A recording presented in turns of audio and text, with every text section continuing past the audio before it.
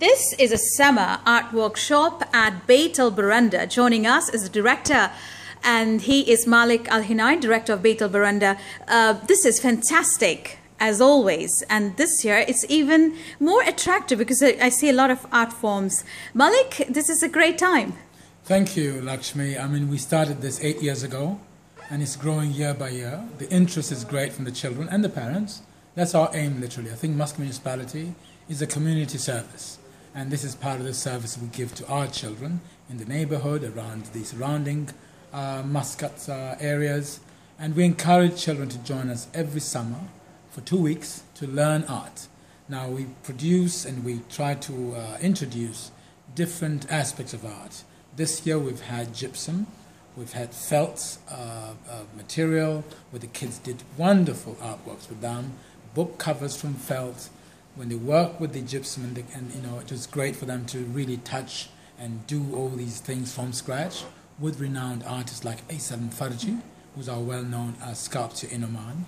And we had buttons as well, you know, so this you do things with buttons.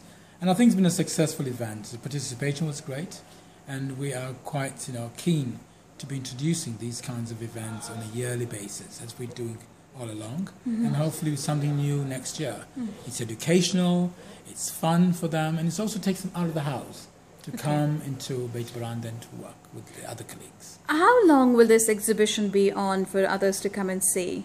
Well, today, the 24th of August, we've just had the culmination party in the exhibition opening. It will be on until end of September 2014. Okay. So we invite everybody to come over and see what the little kids have done.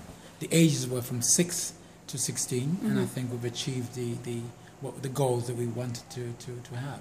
And especially this is an open invitation for the young ones. Oh, definitely. They themselves, the school's open in two weeks, so they've got time to come over with their parents and to see what their brothers did, what their cousins did, in, in, and their friends and their neighbors. Mm-hmm. So we, we're open here from 9 to, to 6 in the evening, and hopefully we'll see a, a flow of people come and see the, the great work they've done behind us. Malik Al Hinai, thank you so much for your time. pleasure, thank you.